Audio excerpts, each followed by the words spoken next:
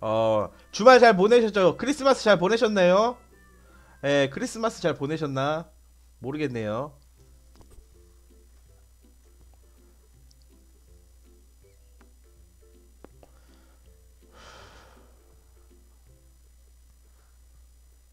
그니까 지금 뭐 시향이고 형님들이 듣고 싶은 거는 이제 어떻게 될까 하는데 제가 형님들한테 이 자리에서 말씀드렸죠. 딱 요 자리였다. 딱 이 자리에서 뭐라 그랬습니까, 형님들?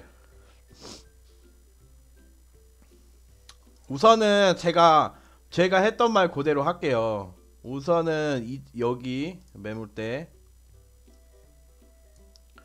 그리고 그 다음 매물대 그림자리가 여기였는데 여기가 그냥 힘없이 뚫렸어요. 거래량 터지면서 그쵸? 그 다음 매물대가 여기였어요. 이렇게 선을 두 개 거줬었는데 어, 이 자리에서 제가 형님들한테 했던 말 그대로 할게요.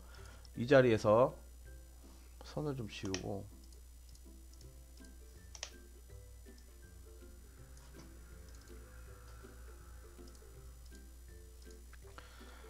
이 자리에서 공격적으로 들어가려다가 안 들어갔죠. 안 들어갔어요. 어, 근데 여기서 단기 반등 나왔다가 여기 매물대 맞고 거래량 붙으면서 떨어졌습니다. 이렇게. 제가 이 자리에서도 형님들 진짜 소량만 가지고 대응 하려다 그랬다가 안 한 자리야. 그쵸? 그리고 무포 가자 그랬잖아. 무포. 우리 무포 갑시다. 무포 가자. 무포 가자고. 이 자리에서도 무포 가자고 말씀드렸습니다. 형님들한테.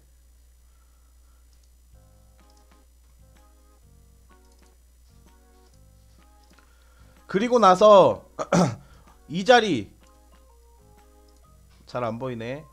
이 자리에서 어, 단톡방에 제가 형님들한테 떡락 가자 막 이렇게 외쳤던 자리. 예. 근데 떨어져 버렸어. 아홉 그때가 9시 반이었나 아침? 예, 9시 반이었나? 무포 이상한 상상하지 마세요. 예. 무포는 무포지션이니까 어 혹시 포경 얘기하고 그런 그런 생각하고 계신 거 아니죠? 어. 우선은 지금 많이 하- 하락을 했죠. 지금 어느 정도 하락을 했는데 하락 퍼센트데이지를 한번 자로 한번 재봅시다. 여기서 여기까지 지금 내려왔으니 비트가 11%나 하락했네. 그쵸? 11% 내려갔고 그 와중에 비트코인 캐시 올라갔다 좀 내려오고 막 이렇게 막 상황이 있는데 어 비트코인 캐시도 반등이 나왔죠. 같이 반등이 나오고 뭐 이더리움 약반등 나오고. 저도 이더리움을 가지고 있었어요. 좀 소량 가지고 있었는데 이더리움을 16만원 정도에 정리를 했어요 저도. 정리를 하고 포지션 다시 잡으려고 정리를 했는데 지금 이더리움 얼마냐 어 14만 3천 원이네요.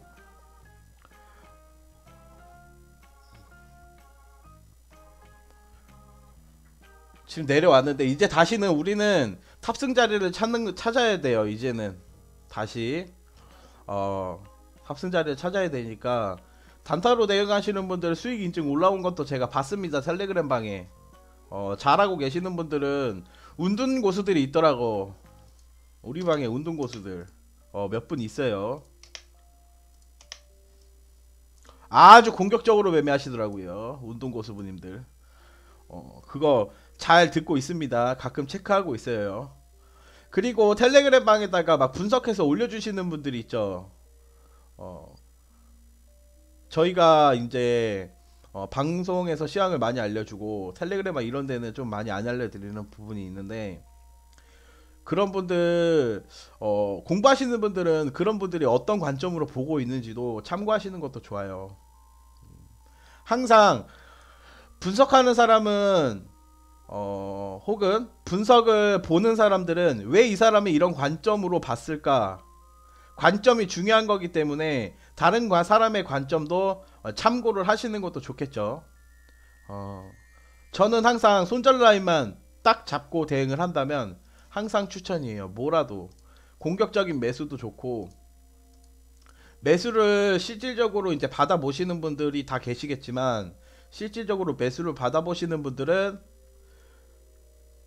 많이 진짜 실전에 많이 지금 막 심리 상태가 좋진 않을 거예요. 그리고 불안하시는 분들도 많을 거고 지금 이런 상황에서 또다시 또다시 지옥을 가지 않을까라는 어 그런 불안함을 갖고 계신 분들도 충분히 있을 거라고 전 생각해요. 근데 이제 비트를 한번 보면 지금 비트는 하락할 때 여기 매물대가 있었죠. 그쵸? 여기에 매물대가 이렇게 있었어요.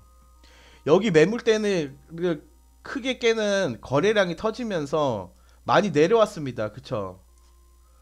많이 내려왔거든요. 그러면 이렇게 거래량이 터지면서 내려왔다는 건 뭐예요? 다시 올라가려면 거래량이 필요하다는 얘기겠죠. 그쵸?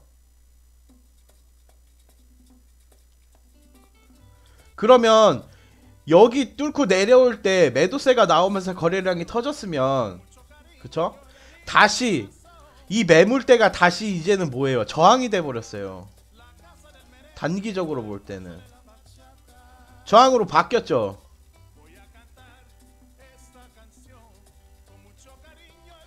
그리고 지금 상황상은 쌍봉이 나와버려가지고 좋은 상황이라고 보긴 힘들죠. 그러면 형님들은 이제 어쩔 때 대응을 해야 돼요. 지금은 무포하셔야 돼요. 맞아요. 내가 공격적으로 하겠다. 손절 라인 잡고 여기 손절 잡고 대응하실 분들은 하겠지만 이제 그거를 못 하시는 분들은 지금 추세가 단기 추세는 아직 꺾인 건 아닙니다. 꺾인 건 아닌데 거래량이 여기서 동반하면서 지금 이 자리가 핵심 자리가 돼버렸어 다시. 추세를 더 이어갈 것인가? 아니면 여기서 다시 나락으로 떨어질 것인가? 거기에 대한 중심 자리에 와버렸어요. 근데 위에 대한 매물대를 두고 내려 내려와 버렸기 때문에 올라가도 큰 힘이 다시 동반 시작을 해야 됩니다. 그러려면 패턴을 우선 만들어야겠죠. 지금은 단기적으로 1시간 봉상, 4시간 봉상은 어, 60일선의 지지를 받고 있고 20일선 밑에 캔들이 존재하고 있지만 지금 이 상황으로 봤을 때는 지금 뭐 dead 나와 있고 골드 날려가고 dead 나와 있기 때문에 상황이 좋은 상황은 아니겠죠. 날봉도 한번 체크해 볼까요? 날봉도 지금 첫 번째 스토 dead 나와 있고 아직 영선 돌파 못했죠. 아직 추세적으로 큰 추세는 아직 시도 중요한 자리 이 자리가 중요하다 그랬죠. 이 자리 지금 중요한 자리에 돌파를 하지 못했습니다. 아직까지 얘 또한 영선을 돌파하지 못했고 근데 얘도 이제 dead 나오려고 하고 얘 이제 gold야. 그러면 얘가 gold여서 내려와도 만약에 얘가 하락을 해도 몇 번에 대한 반등을 만들어주면서 하락을 하겠죠. 큰 추세가 상방을 보고 있기 때문에 아래에도 매물대가 있다는 얘기예요. 어느 정도 지켜줄 수 있는 매물대는 몇 자리 있다는 얘기입니다. 그 자리를 체크하면 37 라인이 되겠죠. 그 다음 매물대는 37 라인이 될 거고 이제 1시간 봉상 체크를 같이 해보면 지금은 21선을 얘가 이 자리에서 저점을 살짝 깨는 패턴이 만들어졌지만 21선을 깨고 안착해서 한 파동 더 갔다가 그걸 한 번에 다시 무너뜨려 버렸습니다. 그쵸? 이런 상황이 오면 어, 대부분 이 저점 라인을 이 여기가 지금 중요한 자리예요. 중요한 자리인데 어, 시간을 조금 더 끌다가 하방으로 또 내리 꽂을 수 있어요.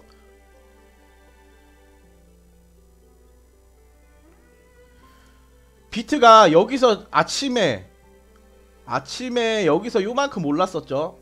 요만큼 올랐었는데 이때 막 비트코인 캐시랑 이더리움 막 이런 애들은 조금씩 상방을 좀 보면서 반 단기 반등이 같이 나왔어요. 근데 비켈 가지고 수익 나신 분들도 있을 거라고 저는 봐요. 수익 났다고 말씀하시는 분도 있더라고요. 어 그런 분들은 우선은 수익 났기 때문에 축하드릴게요. 어 저는 아침에 그렇게 올라가도요 눌릴 걸 알고 있었어요. 어 눌리고 대응하자 했는데 지금은 조금 어느 정도 많이 어, 전 저점 라인까지 많이 눌려 있는 상태이기 때문에 지금은 좀 조심하셔야 됩니다. 지금 반등의 힘도 위에 거래량이 좀 더 동반하면서 내려왔기 때문에 거래량이 터진 구간은 시작 지점하고 이제 끝 지점의 거래량이 요 자리에 거래량이 좀 분포돼 있겠죠. 매물대가 그러면 요 자리랑 요 자리에 매물대가 이렇게 많이 지금 있는 거예요. 거래량이 좀 있으니까. 그러면 추세를 한번 봅시다. 만약에 이 자리를 다시 얘가 탈환을 해서 이 자리를 다시 얘가 다시 올려치면 공격적으로 대응하시는 분들 자리 잡아드릴게요. 이 자리를 만약에 얘가 다시 뚫고 올라가잖아요. 그러면 지금은 기본적으로 영선 아직은 위에서 버티고 있지만 이 저점 라인이 깨지면 영선은 하방으로 깨질 겁니다. 이제부터 조심하세요. 이때는 진짜 조심하셔야 돼요. 이제는 그리고 만약에 변곡에 대한 추세가 나온다면 지금 영선 단기적인 영선이랑 좀 붙어있는 추세인데 얘가 만약에 여기를 돌파하면 영선을 돌파할 것이고 그리고 얘가 데드크로스 한번 나와주고 눌림목 한번 다시 나와주고 다시 나오는 패턴 얘가 다시 고개를 들고 얘가 골든크로스 나오는 패턴 요 자리 매수 포인트 잡고요 손절 라인 여기 잡으시면 됩니다 아시겠죠?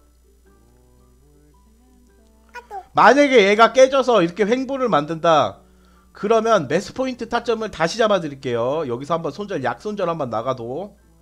아시겠죠? 이런 패턴이 나오지 않으면 지금은 우선은 관망입니다. 관망이에요.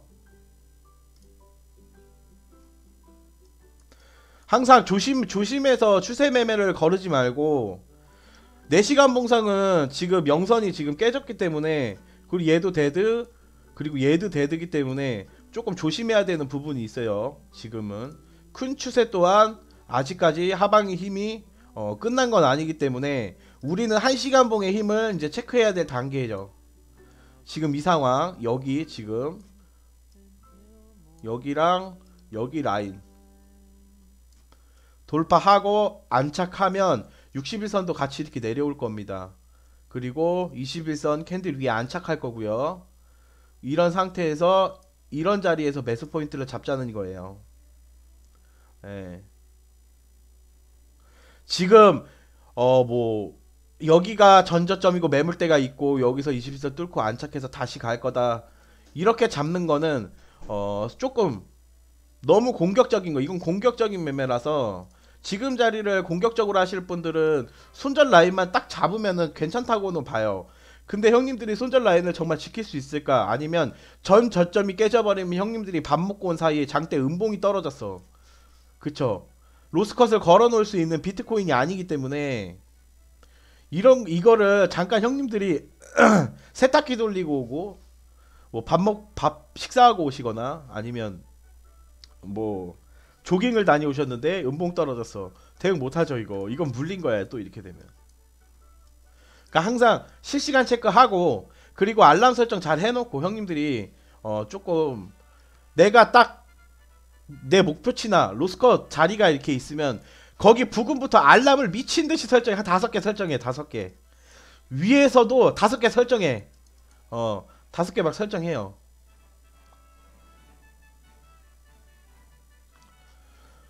핸드폰이 전화 온 것처럼 진동 오게끔 막 설정을 해놔.